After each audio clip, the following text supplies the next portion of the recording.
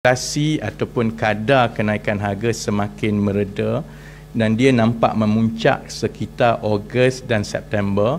dan the graph is coming down kan jadi um, itu satu petanda yang baik um, kerana maknanya um, kita sekarang harapnya beransur-ansur ke arah inflasi yang lebih normal seperti sebelumnya iaitu sekitar 2% lebih. Semua komponen utama indeks harga pengguna yang selalu kita rujuk sebagai kadar inflasi menyederhana kecuali komponen restoran dan hotel dan perumahan, air, elektrik, gas dan bahan api yang lain. Dan yang ini yang yang yang saya nak tekankan juga kerana ini membentuk um, keseluruhan kos yang ditanggung oleh rakyat iaitu peningkatan harga makanan dan minuman di luar rumah terutamanya di restoran dan hotel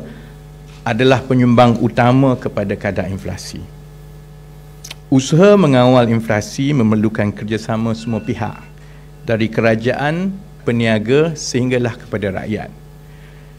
Seperti mana yang disebutkan sebelum ini, kerajaan ingin mengingatkan bahawa pengguna boleh dan perlu memainkan peranan dalam bersama-sama menyuntik keanjalan di antara permintaan dan bekalan demi mengawal inflasi. Sebab dari perspektif dasar, eh,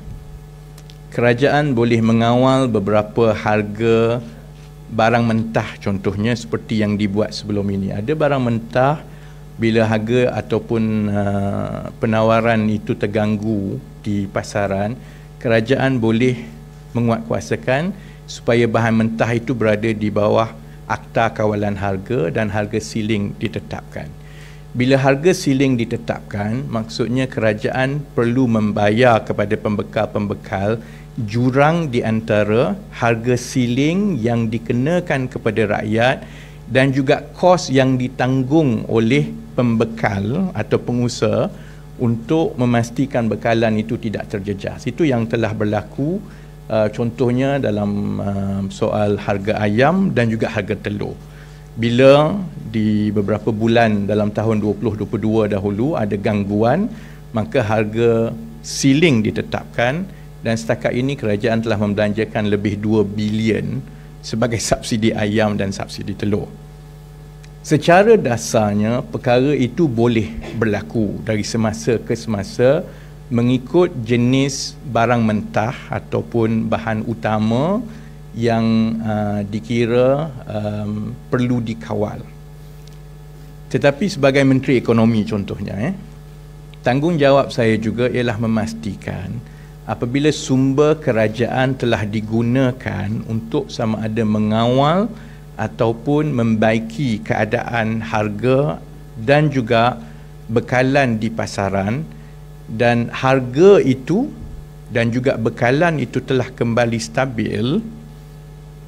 inflasi itu akhirnya akan melambangkan bahawa sesetengah bahan mentah itu yang telah pun stabil diterjemahkan kepada pengguna. Sebab kita semua sedia maklum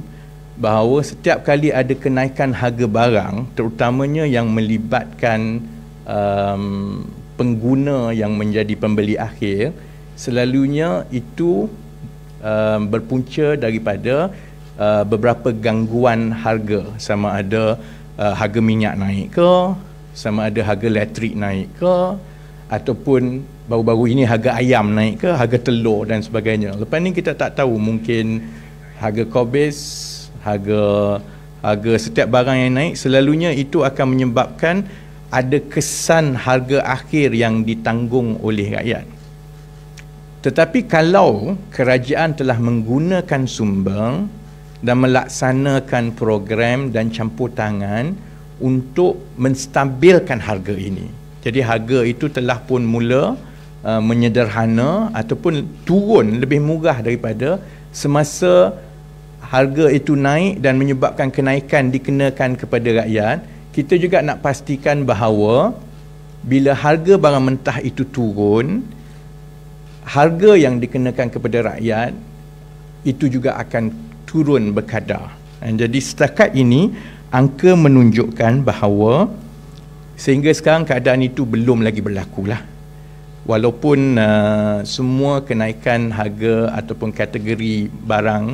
uh, menunjukkan kenaikan itu menyederhana tetapi kenaikan harga barang contohnya yang melibatkan makanan dan minuman di luar rumah itu terus naik meningkat dengan lebih laju lagi jadi contohnya kalau harga barang mentah kadar kenaikannya itu 2% tetapi kadar kenaikan yang dikenakan di restoran, di hotel dan sebagainya naik 7%. Dia hampir tiga kali ganda lebih tinggi daripada kadar kenaikan harga barang mentah contohnya kan. Jadi itu perkara yang walaupun tidak popular uh, menjadi tanggungjawab saya untuk saya terus sebut kerana